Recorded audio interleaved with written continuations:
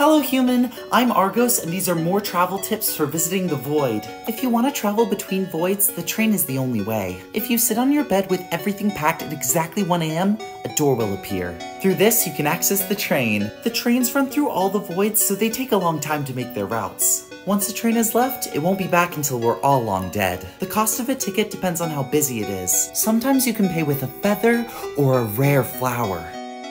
How much for a ticket today? Because humans have been moving to the void, prices have skyrocketed.